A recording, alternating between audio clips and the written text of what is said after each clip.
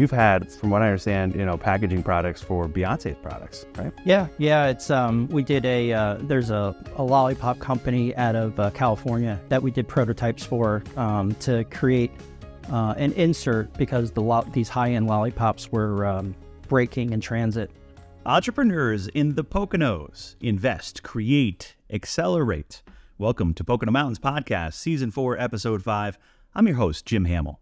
We're fortunate to have some really great stories of entrepreneurialism here in the Poconos. We're just a couple hours from New York and Philly and attract some top talent right here to our own communities, including within two business incubators, one at East Stroudsburg University, which hosts an annual Economic Outlook Summit coming up next month, and the other at the Stourbridge Project in Honesdale, featured on Pocono Television Network before. We got to meet a few of the entrepreneurs and the Stourbridge Project's Director of Innovation and Entrepreneurship, George Boudman. We'll combine that with the folks at the ESU Innovation Center for the in person summit in May at Kalahari and feature the story on the June episode of Pocono Mountains Magazine. More to come on the Stourbridge project for this episode in just a bit. The Poconos is a year round destination for millions with 2,400 square miles of mountains, forests, lakes, and rivers. With historic downtowns and iconic family resorts, it's the perfect getaway. You can always find out more on PoconoMountains.com or watch PTN, the Pocono Television Network, streaming live 24 7. Now back to the episode. The Stourbridge Project has a special place in my nostalgic heart. It's in my old elementary school. Now, a decade after WEDCO, which is the Wayne Economic Development Corporation, the County of Wayne, and the Workforce Alliance started the business incubator, and it's taken off. Fertile soil for tech entrepreneurs of all kinds, plus training and high speed internet. Here's a listen to two full interviews with George Boudman, who spearheads the Stourbridge Project's initiatives, and tenant Jason Deron of Flyleaf Print. Enjoy. Hi, folks. Jim Hamill here with Pocono Mountains Podcast, sitting here on the third floor of the Stourbridge Project in Honesdale, just overlooking the Lackawaxen River here uh, we've had a lot of rain recently, and just great to be indoors here today with George Boudman, the Director of Innovation and Entrepreneurship of the Stourbridge Project. Thanks for joining us on the podcast. Tell me what it is you guys do here from soup to nuts. Soup to nuts. Um, well, we have several phases. We have a co-working space on the lower level um, that is open to the public, 8.30 to 4.30 uh, daily. And you can also have a subscription, access to the building 24 7 um, to access that same spot. We also have a prototyping lab, um, and we have prototyping classes uh, that if you have a something you want to design and make, we have the people here to help you with that. We have uh, uh, CNC machines, we have a Glowforge laser cutter, we have 3D printers, and we have a new um, 3D design artist that can help us build those files in AutoCAD or FreeCAD, whatever you want. And then the top two floors of our building uh, is a business incubator where we are focusing on tech startups in the county. Uh, we currently have 16 offices in this building for incubator, and we have 14 of those offices filled. So we only have two offices available um, to grow into. Space is at a premium, right? Space is at a premium. Um, what we're finding is that folks come in, they might be introduced to the co-working space downstairs, doing some R&D. We get introduced, they talk about a plan, we introduce them to some of our partners. Next thing you know, boom, they have an LLC, they're in the, the incubator program. That's really what the design and the vision was here, right? Because this is the Wayne Economic Development Corporation, you know, that really looks out for the economic well-being and growth of the county, but then also too, Wayne Pike Workforce Alliance. Workforce Alliance really helps people get the training they need to to uh, you know jump into those kind of roles, whether it's entrepreneurialism or it's you know getting uh, trained up for different you know jobs in the workforce. Mm-hmm. So here you have a training room, you have these incubator spaces and the co-working spaces. Seems like it's working out pretty well. It's it's come a long way. We're in our tenth year. Yeah. Um, we just finished up a large construction project where we expanded some office space. We had we turned two offices into six. Um, we've uh, kind of redesigned the um, the training room. They've updated uh, a big efficiency uh, project, replaced all the windows to original looking, um, updated the furnace system to you know, you know high end uh, efficiency uh, natural gas furnaces, um, and the place is busy. Yeah. Um, the co working space sees about 100 people a month. Um, officer filled. The training room is filling up. We just started training. The con- contractors left April or March 30th. We had training in, the, in there uh, April 2nd. Jeez. Uh, we have a recovery specialist training going on right now through the month of April. We have Penn State coming in for a leadership class in May. Uh, we have a digital literacy program that we're building. Uh, we also have 3D design classes we're starting up in April. So, and that's all through Workforce Alliance. Yeah. Um, they're one of our partners. The chamber is one of our partners. Um, we're also partnered with uh, Small Business Development out of uh, University of Scranton, and that gives us great legal advice for our entrepreneurs. You know, through the Penn State Legal Service. Uh, we're also partnered with uh, uh, University East Stroudsburg University uh, for the Keystone Innovation Zone. We are currently the only Keystone Innovation Zone building in Wayne County. We're looking to expand on that and build corridors throughout the county. So when our entrepreneurs, our incubator program is three to five years. The the KIZ program is eight years. So it's like we can't, you know, we can't push people out of the KIZ zone until eight years. So we're looking to put other buildings in that program. So when they outgrow us, we can put them in the community, you know, before the eight year Sure. you know, trademark. So that's what we're looking to do and, you know, partner and grow and grow and grow and create jobs in Wayne County Yeah. and build a community here at the same time. And the, a lot of these businesses, and that's that KOZ zone, Keystone Opportunity Zone, is something uh, of a of a leg up, if you will, to to allow for lower overhead or or not have the the um, whether it's tax abatement or something like that, right? The- Yeah. yeah. So it's, it's tax credits. The KIZ is a tax credit, money in your pocket for up to eight years. So if you're growing and you're growing your business, it's a great program. Um, it's amazing. And um, I think about four or five of our current clients use the KIZ program at the moment. That's fantastic because it just makes you more competitive as you're starting Oh. Your business. Because as we can face it, it's hard to compete in the, the global economy right now. And really, this is kind of a, a global story here, even though it's a local story about the Pocono Mountains region and the incubator spaces at ESU and here in Honesdale and Wayne County. But you're also seeing this um, groundswell then of entrepreneurs who are finding this a wonderful place to call home and having the resources here within the Stourbridge project to grow their brain children. Right. Yeah. The one thing with a tech startup is you're your own liability and your own asset. It's not like you have inventory you can back up on or a building to sell. It's you. And if you don't work that day, you don't make money that day. And that's the hard part that people don't see. Right. Um, when they think of a business, they think, oh, you're building assets, you're building assets, you know, you can eventually sell that. But it's really the person. And we have um, around $10 million a year of business in this building Wow. and it's it's small one and two person businesses, which is amazing. Um, and they're dealing globally, as we as you'll see with Jason and Felix, um, Max, um, Dennis, um, Scott, Alejandra, uh, Jay. I mean, there's you know um, everybody's working. Um, even uh, we have a, an OSHA trainer, uh, CPR first aid trainer in the building. He's working via Zoom and training people all over the country, right out of the Stourbridge, which is amazing. That's really impressive too, because I can go back kind of in my own, you know, uh, lifespan here. This was uh, a Stourbridge Elementary School. My third grade classroom, I think, might be right where we're sitting right now.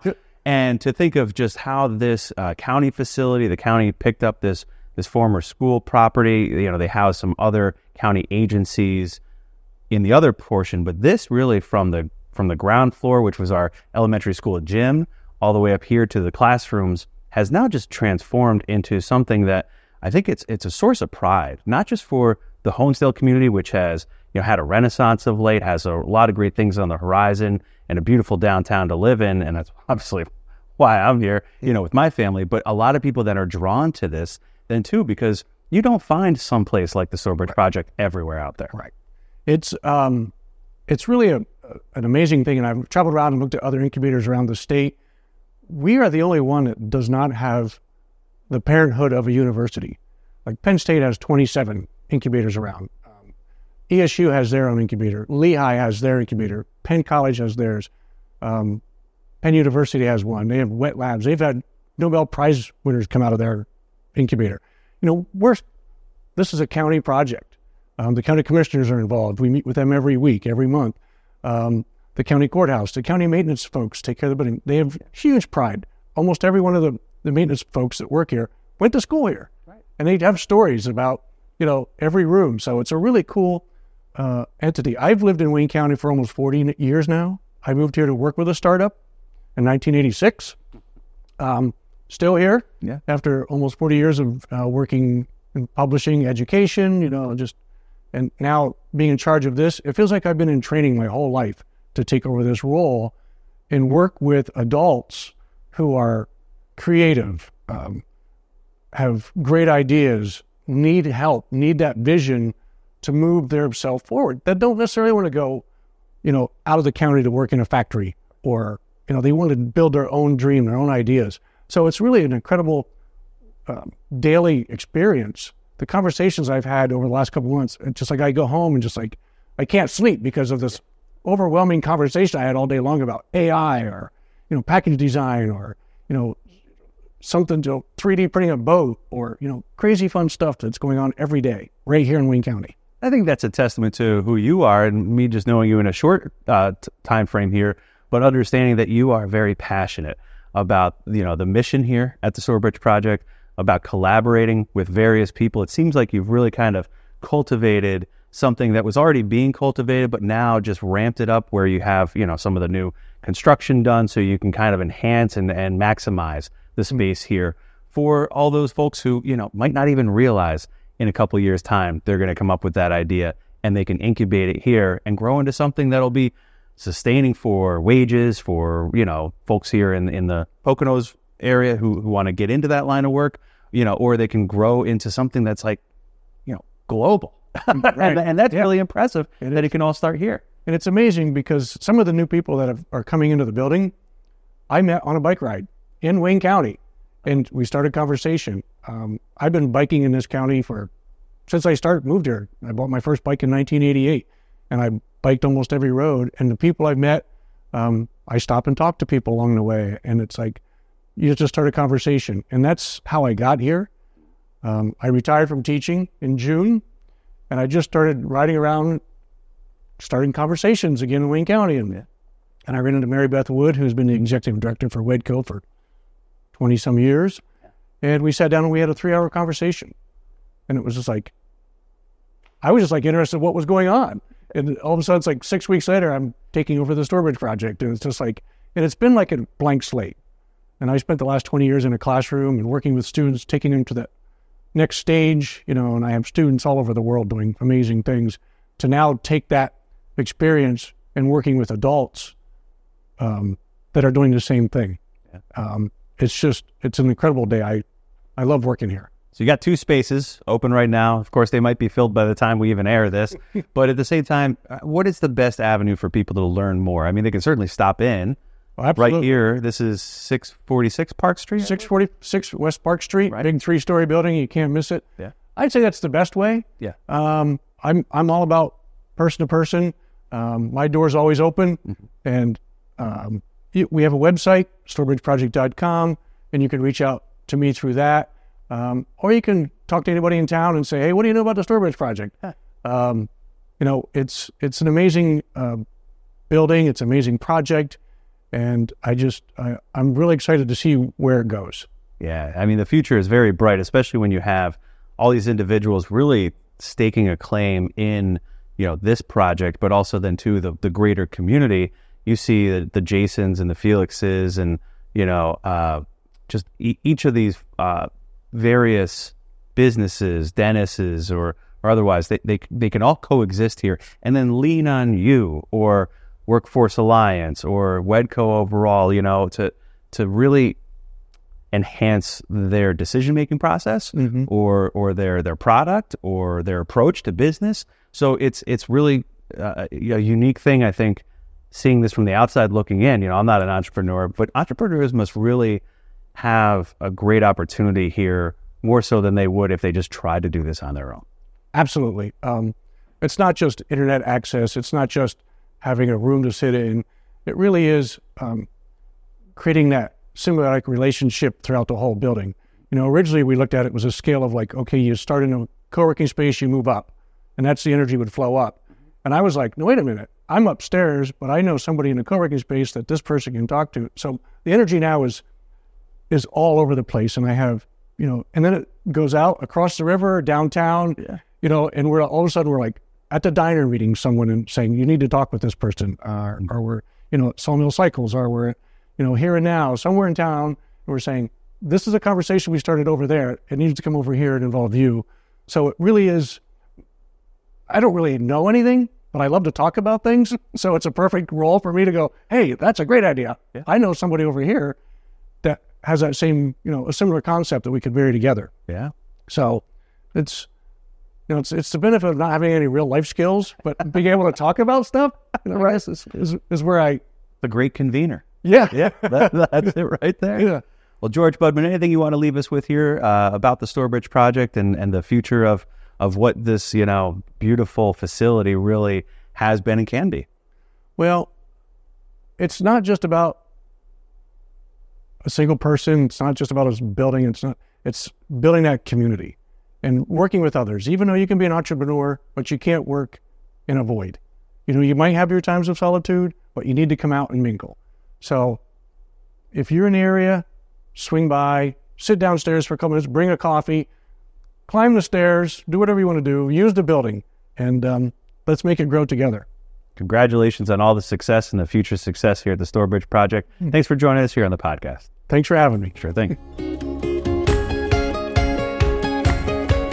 Hey guys, Jim Hamill here with Pocono Mountains Podcast. We just talked to George Boudman here at the Stourbridge Project. Now we have one of the tenants here, one of the entrepreneurs here, Jason Deron with Flyleaf Print. Jason, welcome to the podcast and thanks for sharing with us your tale of how you built this business. This is a business that packages items for various different companies. I'm looking around the room here. I see Casper, I see Nectar, I see Mocha Origins, one of our fine Pocono members here in the uh, Pocono Mountains region. But why did you choose the Stourbridge project as a place to really build and grow Flyleaf Print? Well, um, we started the company in New Jersey, North Jersey. Um, our co-founders are from Jersey. Um, they're still there, but um, we had a company in Fairfield. That's where we started. And uh, I was living up here, traveling there three days a week, so two hours both ways. It was a bit bit long. So um, we decided to cut that back, uh, work a little more remote. Um, I live in Starlight, PA, which is northern Wayne County, uh, with no Wi-Fi, no internet whatsoever at that time. So um, contacted the people down here in Honesdale. Um, John Fritz actually, um, he put me in touch with Mary Beth at Wedco, and eventually I ended up here in, at Stourbridge downstairs, which they have the greatest Wi-Fi around.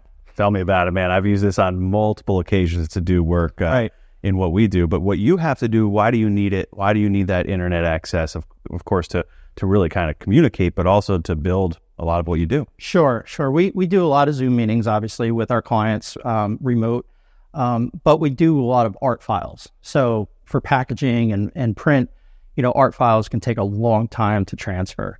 Um, you know, we use other you know file services, but still, you have to you have to download it to those services. Um, so again, the internet was a big issue. Um, we decided at that time um, right pre-COVID to actually move our headquarters here. Once we started talking to Wedco and and being involved in the Stourbridge, I was working downstairs, and eventually um, they said, "Hey, you know, w- would you want to try to become part of the program?"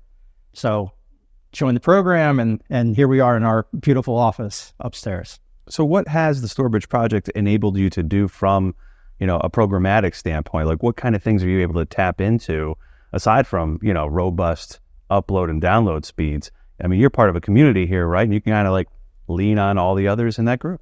Sure. Yeah, we have we have a lot of uh, local graphic artists that we tap into, um, which is great. Keep a lot of things local. Um, a lot of freelancers that way. So yeah, we we, we take advantage as, as much as we can. Yeah, the Stourbridge project. This is really unique too, isn't it? To It be is. part of this community. What's it like to kind of show up here and have your neighbors around and kind of work side by side with other entrepreneurs with varying degrees of differentiation in what they specialize in? It, it, it's great. You know, uh, you come in, grab a cup of coffee, and you know, you meet George, da- you know, down the hall, or you know, Dennis downstairs. You know, and we'll chit chat here and there. You know, lunchtime, and you know, there's a lot of things that we do talk about. You know, issues they're having, issues I'm having. They might have some great insight into something. So it's great to exchange that. This is a business incubator then too, right? So what is the long range plan for Flyleaf Print from the standpoint of like using this as a place to grow? Do you potentially expect to outgrow, you know, something like this, or or what is the long range for you? Yeah, we, we, we probably expect to, you know, outgrow this. Um, when we first started here, you know, the office was completely empty. Um, what you see in here is not what we had. Um, you know, we only recently got this table. We're starting to do a lot of kitting for some of our startup customers. Um, so we, we kit and mail out of here. Um, so we have UPS, FedEx coming here every day. Um, they have drop offs, do pickups. we do actually USPS as well. So so yeah, I think we're probably going to um, exceed our office space at some point. That is really the the nature of the yeah of what an incubator is. It, is. Uh, it, it kind of helps those those businesses get that leg up and that start up, and then spread the wings and fly. So um, when you're talking about what you guys have done in the the couple years now that you guys have really been um, gaining more customers and gaining more clients like what kind of names would you be able to toss around about? I mean i can see them you know visibly here but for even the podcast folks you've had from what i understand you know packaging products for beyonce's products right? Yeah yeah it's um we did a uh, there's a, a lollipop company out of uh, california that we did prototypes for um, to create uh, an insert because the lo- these high-end lollipops were um, breaking in transit so we did a lot of we did um, some prototyping with that, 3D modeling. Um, we didn't do it here, George. You know, we didn't do that here, but we did it with our partner um, on the West Coast. Okay. Um, so yeah, you know, Casper Sleep was our first client. You know, uh, co-founders of Casper Sleep came to one of our co-founders, said, "Hey, we're going to this meeting. We need business cards," and that's how it started.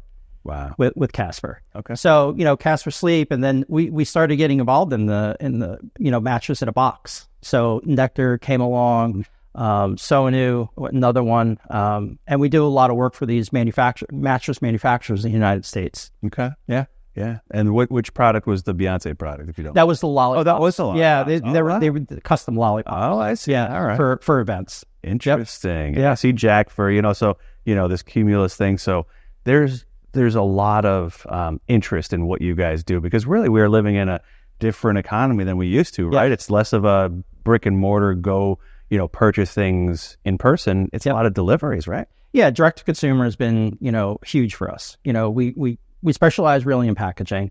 We become an extension of our startups. So they're very good at what they do. You know, they have a product, they know how to market it really well, but they might not know how to deal with print and packaging. So they ask us to come on board, and we become an extension of that procurement team.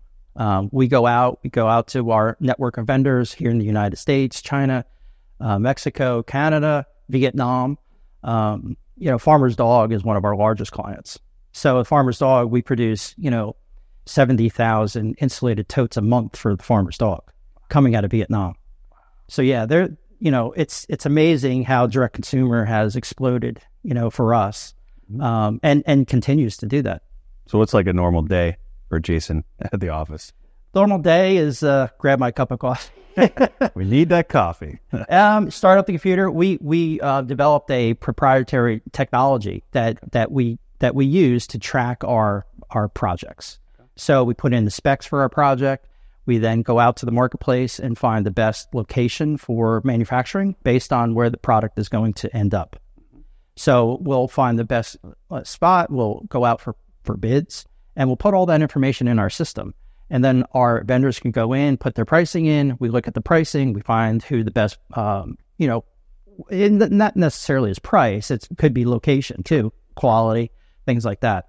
So we do that, and our our clients can go into the system as well and monitor their jobs and understand where their job stands. Okay. You know, if it's in pre-press, we do our proofing in there as well. So our proofing, you know, automatic email goes to our clients, say, hey, if there's a proof there for viewing, they'll go in, pull it down, look at it, see if it's good. If it's not, you know, they'll put some you know, information in, say, hey, this this looks a little off, and we'll go back and and reproof it.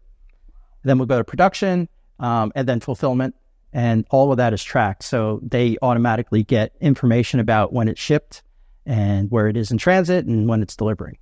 I think one of those like realizations that people have to have then is that this is a far different economy for an entrepreneur to live in where, you know, a lot of this stuff is happening globally, it's happening nationally, but you can have, your headquarters here in the Stourbridge project Yeah. because you have that connectivity to the outside world that provides you with the tools you need, right? Absolutely. You know, when we first started the business, um, we only dealt really with local vendors, you know, in Pennsylvania, New York, New Jersey.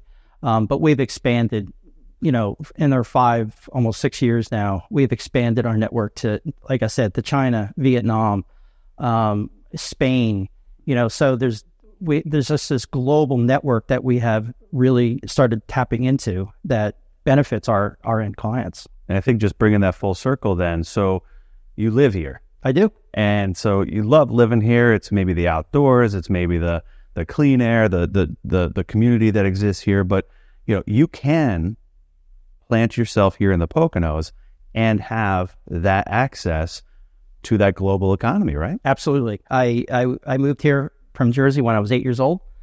My parents moved us here and uh, grew up in Equinunk, Pennsylvania. Sure. Ran out of Delaware and um, went to school at Preston Elementary School and Yeah. I went to Hancock High School. Okay. Uh, graduated and left the area. Went to high, and went to college. Never came back.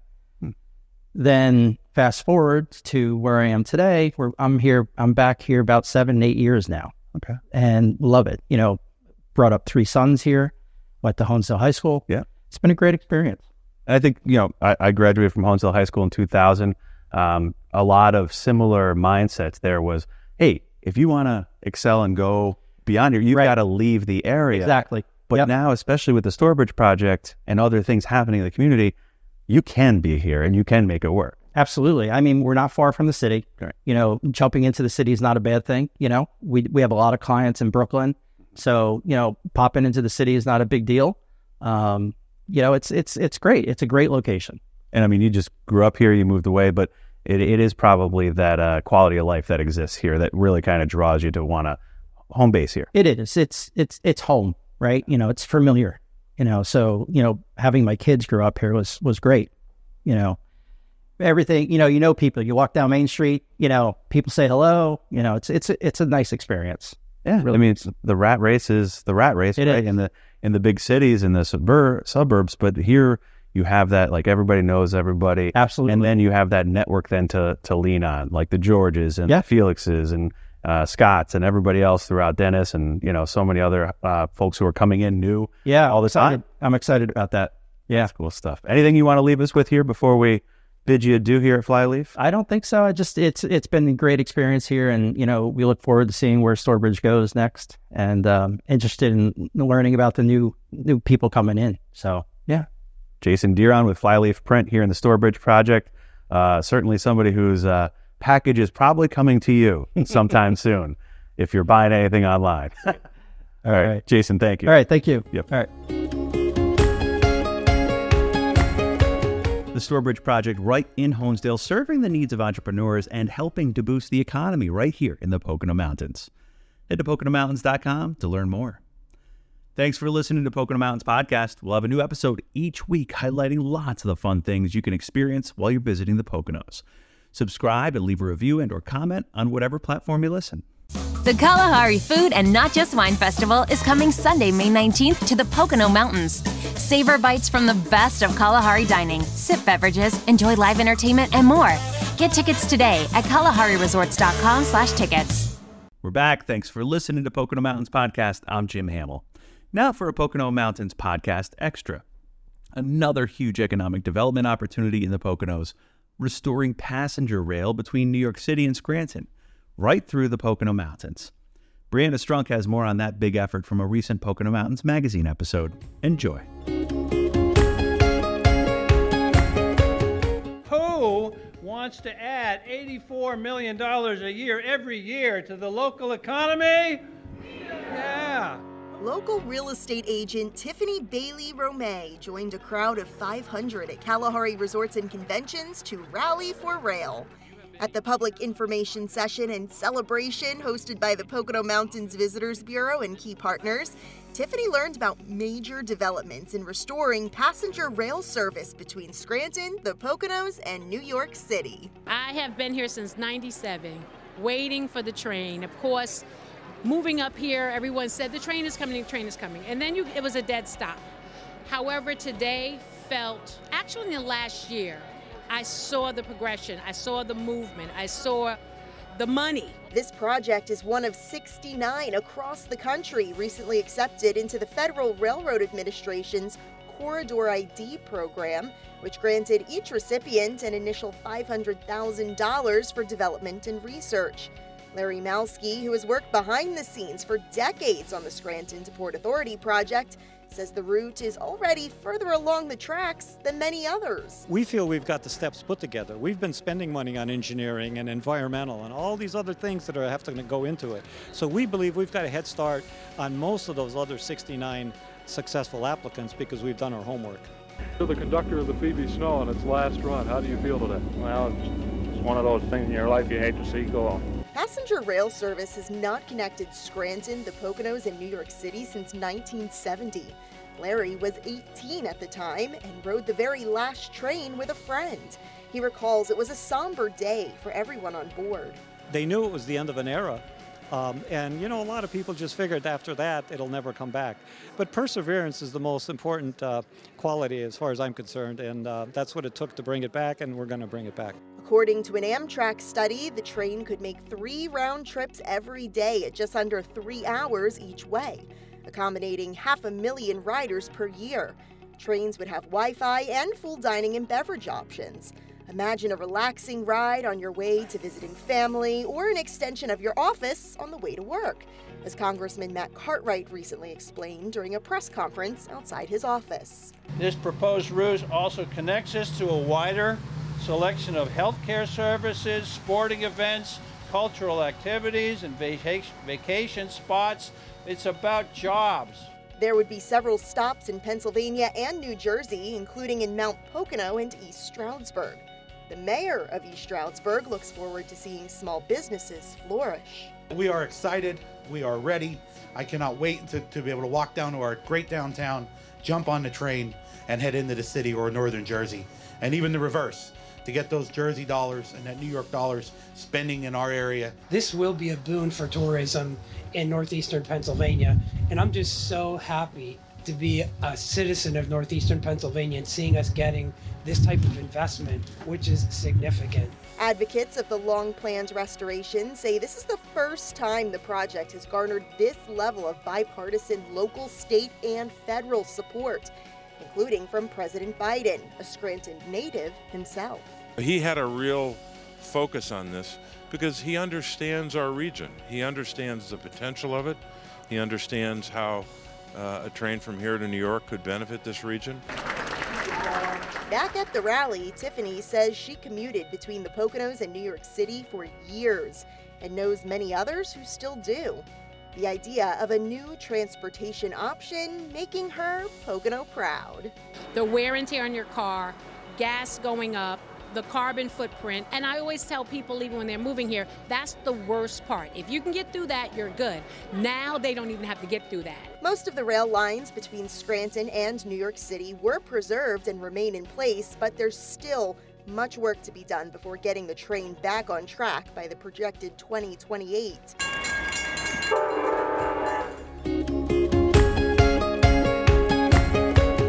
Passenger rail through the Poconos, gaining steam after years of efforts to reconnect Scranton with New York City. Head to our website, PoconoMountains.com slash rail to learn more. We hope you enjoyed this episode of Pocono Mountains Podcast. Please remember to subscribe anywhere podcasts are available. Come visit us in the Pocono Mountains. Plan your trip today.